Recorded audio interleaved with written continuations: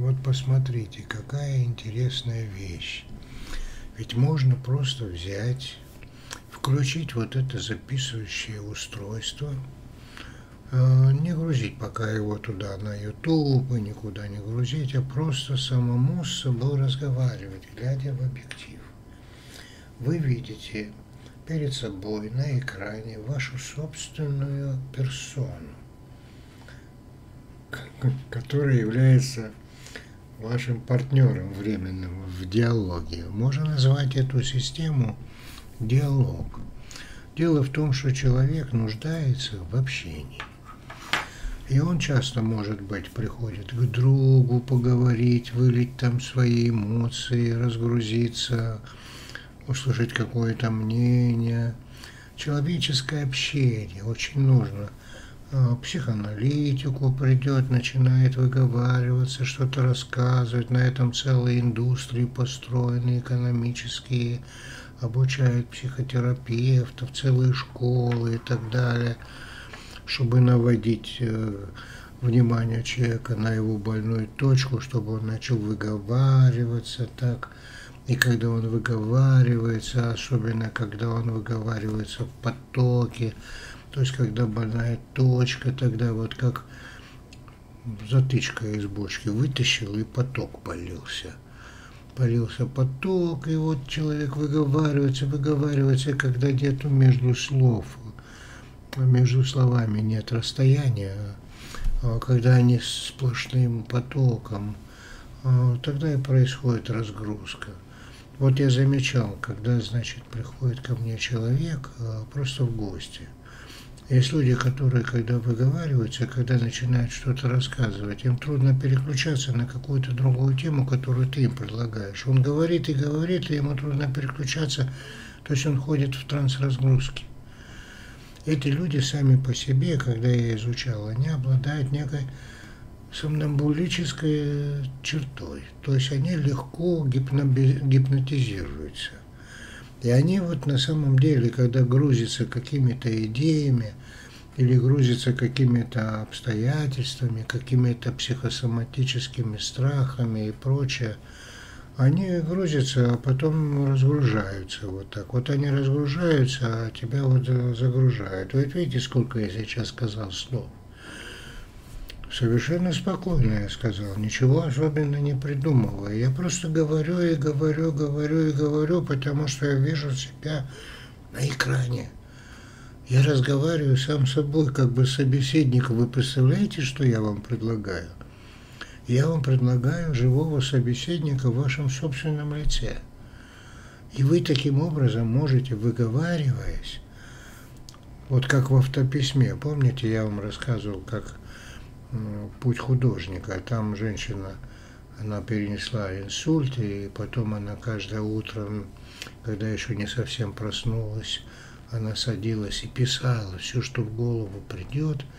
Ну, там 10-15 минут, автописьмо называется. Вот я сейчас до этого говорила выговаривание, она выписывала. Механизм один и тот же. Она потом, в конце концов, четыре книги, по-моему, написала «Путь художника» и выздоровела после инсульта потому что выговаривалось. Это же очень интересное дело. Поэтому человек и нуждается в общении, ему же и выговориться надо. Вот видите, как я непрерывно говорю, даже не задумываясь, потому что я вижу свою собственную персону, как будто я говорю сам собой, и при этом я не задумываюсь, потому что я не боюсь оценки. Я просто говорю, что мне в голову придет, и это мне помогает. Да, и мне это помогает, потому что я освобождаюсь от каких-то зажатостей, от блоков сознания, от блоков тела. Я когда выговариваюсь, я как-то еще и жестикулирую, я произвожу некие действия, которые синхронны текущему моему состоянию, которые помогают снимать напряжение.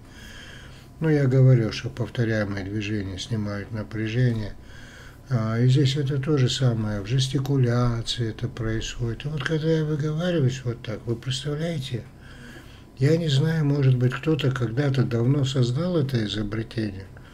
Я его впервые создал сейчас для себя. и делюсь с вами. А вы найдите, пожалуйста, там в Ютубе, найдите где-нибудь в книгах. Вот это вот устройство, которое я предлагаю. То есть есть изобретение, знаете как, изобретение есть один из таких изобретений, несколько вариантов, там способы, а, штамм микроорганизма, есть а, устройство, а есть использование известного устройства в новом назначении, тоже изобретение. Вот я сейчас вам говорю, изобретение, если это никем раньше было, не было создано. Это использование известного изобретения в новом назначении. Вот я вам предлагаю сейчас, чтобы вы садились вечером или в удобное для вас время – когда вам хочется выговориться, или когда вы чувствуете какую-то депрессию, э, когда вам хочется восстановить свои силы, открыть свои потенциальные ресурсы, развить свои творческие качества. Вы обратите внимание, как я говорю. Как я говорю, органично, легко, свободно, потому что, во-первых, меня никто не слышит, меня никто не контролирует – мне никто не мешает, меня никто не оценивает, никто не прерывает поток моей речи. То есть здесь нет того момента, когда человек ко мне пришел, начал что-то говорить, а я его перебиваю. Здесь такого нету. Здесь как раз таки я высказываюсь и высказываюсь, и как текут, течет река. Вы понимаете, как это оздоровительно? Это так здорово, это так просто, это так прекрасно. Посмотрите, я поставил свои картины. Да, я сижу и смотрю на себя, любуюсь. Каждый человек хочет полюбоваться на себя. Каждый человек, когда смотрит в зеркало, он же представляет себе, для чего он смотрит в зеркало, особенно женщины, да и мужчины. Они, когда смотрят в зеркало, они же играют какую-то роль, они себе невольно они находятся во внутреннем диалоге. Человек – это социальное существо. Когда он смотрится в зеркало, он как бы мысленно представляет себе, как он выглядит где-то, с кем-то, разговаривая, общаясь, какое он впечатление производит на кого-то, как он на кого-то влияет, как он должен там слушать кого-то, там кому-то как должен улыбаться. Он же во внутреннем диалоге находится. А здесь я вам рассказываю, как этот внутренний диалог, сделать то же самое, озвучить его, озвучить его, вот этот внутренний диалог, когда вы озвучиваете, вы освобождаетесь от этого потенциала. Вы от него и освобождаетесь, и голова становится как бы опустевшей, свободной, разгруженной. Вы выходите на нулевое состояние. Видите, у меня даже голос улучшается, потому что напряжение падает, снижается. Я говорю все легче, легче, да я скоро так запою. Вы представляете, и вы так можете делать.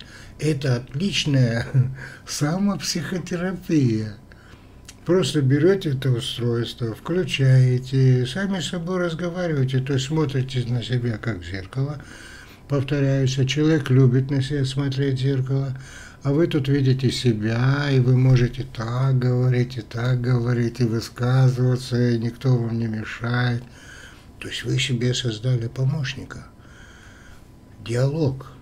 Вы создали себе некую субличность, если говорить так вот а, языком, так сказать, современных технических возможностей. Вы создали себе через эту технику субличность. Ну, то есть, по существу, то, что вы делаете, безусловно, внутри себя – в ограниченных возможностях, то теперь вы делаете именно в человеческом общении, но говоря сам собой. Вы идеальный собеседник для самого себя. Все, что можно придумать полезное в человеческом общении, большую часть оттуда вы можете реализовать без того, чтобы грузить какого-то собеседника. А вы можете сами как бы разгружаться и в то же время не загружаться, а наоборот разгружаться, в то же время не загружаться, никому не вредить и развиваться таким образом. И выздоравливать. Я почему это сейчас придумал? Потому что я последние несколько дней думаю, как же самому себе помочь, чтобы выздороветь и лучше себя чувствовать. Вы представляете, что я придумал? Я стоял, смотрел в окно и вспоминал – Когда я был совсем юный, молодой, вот так же шел снег, я представил себе, что я тогда ходил по улицам, я был такой бодрый, такой сильный, такой вот вообще все было впереди. Да, я думал об этом и думал, как же мне это воспроизвести. Сегодня, когда я уже в своем возрасте, вот у меня завтра день рождения, 72 года. И я поэтому придумал сейчас – Ответ на вопрос. Я себе задавался этим вопросом, стоял в окошко, смотрел. А сейчас весна начинается, уже марта, у меня 4 числа как раз таки день рождения. Я подумал, не восстановить ли мне свою юность, а не возобновить ли мне свою жизнь, а, и делать уже ее какой-то лучше, чем раньше не стареть, а молодеть, потому что я сейчас придумал способ разгрузки для себя с идеальным собеседником. Друзья, это, по-моему, здорово. Итак, еще раз повторяю. У меня на компьютере есть записывающее устройство, где я на экране вижу себя, когда я записываю, чтобы потом загрузить в YouTube и вам показать. Так вот, я теперь не записываю ничего, а просто в этом записывающем устройстве разговариваю, глядя на себя. Таким образом я придумал штучку, да, можете ею воспользоваться, и всем будет хорошо. Друзья, я дарю вам это. Может, кто-то когда-то придумал это изобретение. Я не претендую на новизну, я просто говорю о том, как это здорово. Я сам на себе все проверяю и сейчас проверил. Как легко мне дышится, как хорошо мне говорится, как свободно мне говорится, потому что я ничего не боюсь сказать. Меня никто не слышит. Вы представляете? Сам с собой разговариваю. Это мой внутренний диалог, который я выпускаю как бы наружу. И получается, еще раз повторюсь, разгрузка – синхронные моему текущему состоянию, одновременно еще и жестикуляции. О, как здорово. Она сочетает в себе и автописьмо механизм, и психоанализ механизм, и много каких механизмов, и почему людям помогает жестикуляция, почему людям помогает общение. Вот я все это скомпоновал и вам рассказал. Итак, друзья, пользуйтесь. До встречи. Это школа, человек будущего, Homo Futurus. Создай себе собеседника, создай себе помощника. Называется диалог.